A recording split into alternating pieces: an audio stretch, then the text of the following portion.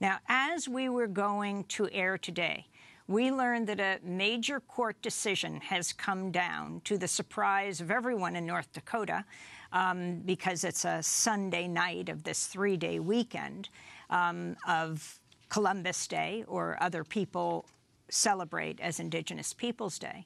A three-judge appeals court decision has come down in Washington, D.C., denying an injunction being sought by the Standing Rock Sioux tribe in North Dakota as they attempt to stop a $3.8 billion pipeline from being built from the Bakken oil fields of North Dakota through South Dakota, uh, through Iowa, and then Illinois.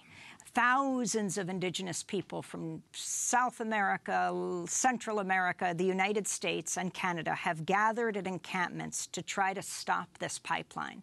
We're joined in studio by Gyasi Ross, who's an author, speaker, lawyer, storyteller, member of the Blackfeet Nation, author of How to Say I Love You in Indian. His recent article for Indian Country Today Media Network is Native Americans need Hillary to actually be an ally against the Dakota Access Pipeline. So this is breaking news, Gyasi, that we all just learned because the decision just came down. Talk about the significance of this and where these presidential candidates stand. Thank you very much, Amy, for having me.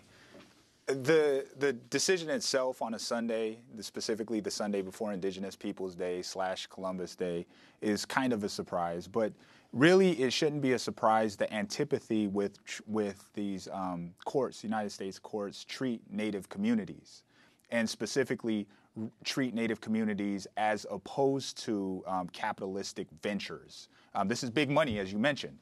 And, and, you know, there's um, unfortunately on the good side, it won't affect the organization that's happening out there on the front lines in Standing Rock in Cannonball, uh, North Dakota, where those natives, those thousands of natives that you mentioned, are out there, whether day or night, cold, rainy, dry, it doesn't matter. They're committed to the cause and aren't reliant upon a federal court for validation of this movement that they need to save this water, not just for the benefit of our communities, even though that's very important, but in fact for the benefit of millions and millions of people, both native, non native alike.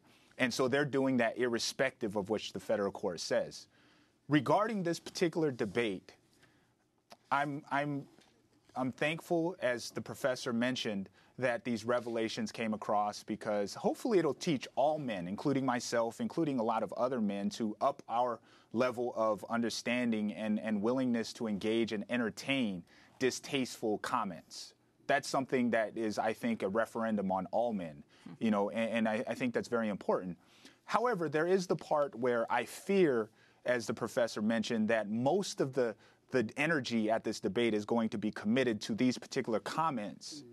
And the piggishness and disgustingness of these particular comments and this attitude, and not towards substantive um, areas. So, for example, in regards to the Dakota Access Pipeline, well, the Democratic Party at the Democratic Convention said this would be the most progressive um, platform in regards to climate change that this nation has ever seen.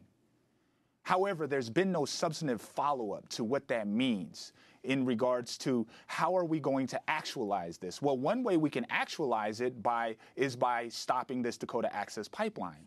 The fact is that this pipeline cannot commence without any federal approval.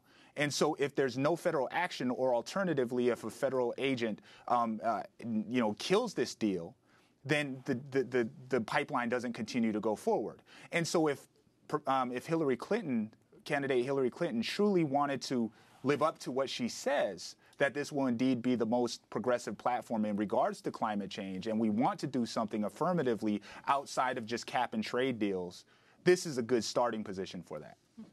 What questions do you think ought to be asked tonight of the candidates on climate change, on tribal treaties? Well, this thank you very much for that question and it's those are two separate questions um, donald trump unfortunately showed his cards very early like 23 years ago of how he felt about treaty rights when he talked about how um, native communities should not be able to engage in, in economic development activities because he didn't want the competition. And so he doesn't see. In terms of building casinos. That's right. And so he doesn't see tribal governments as legitimate governments that should be able to challenge and develop our own institutions. Hillary Clinton, as the as the um, as the um, column mentioned, says she's an ally. She has wonderful Native advisors. And those wonderful Native advisors have said that this is likewise going to be the most progressive platform in regards to their treatment and understanding of that government to government relationship, that these are, in fact, relationships that are that are sealed with treaties that you only do with governments that you enter into as equals. However, not the, the lack of willingness to even enter into those conversations, whether it be in regards to Dakota Access Pipeline, to what do treaty um, obligations mean that's kind of troubling that those waters have not been ventured into at all. So if I were to pose a question, I would say, well, what does a treaty relationship and a trust relationship mean to you, Hillary Clinton, somebody who's supposed to be an ally to Native communities? Speaking of climate change, it's believed more than 900, and the number could well exceed 1,000 Haitians have died yes. as a result of Hurricane Matthew um, the horror of what climate change looks like, the toll it takes.